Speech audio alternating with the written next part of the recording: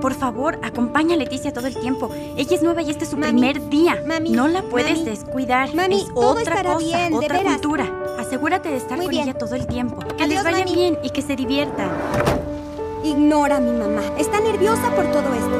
Creo que se preocupa más de la cuenta, ¿no crees? Y siempre hace lo mismo.